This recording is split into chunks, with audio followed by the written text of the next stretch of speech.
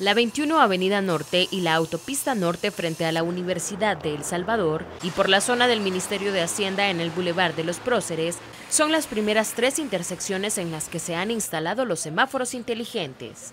La mañana de este 24 de abril, personal del Ministerio de Obras Públicas trabajaba en la calibración de los aparatos instalados en la autopista norte frente a la Universidad de El Salvador.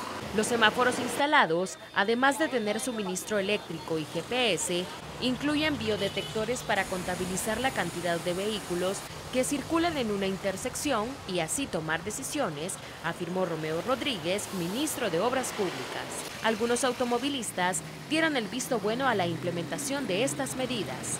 Bueno, para mí está bien, pues primero porque se van a evitar muchos accidentes, las personas que transitamos de noche, pues somos testigos de lo que ocasiona el irrespetar este tipo de, de semáforos, ¿verdad? Los anteriores y pues espero que con este se pueda mejorar un poco respecto a la cantidad de, accidentes de tránsito que se registran y pues también eh, ver de qué manera se puede solucionar toda la situación y descongestionar eh, de alguna manera las calles.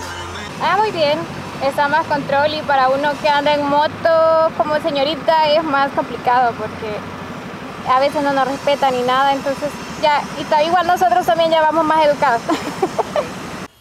Las cámaras que monitorean la carga vehicular en las intersecciones no son las mismas del sistema de monitoreo para fotomultas, aclaró el funcionario.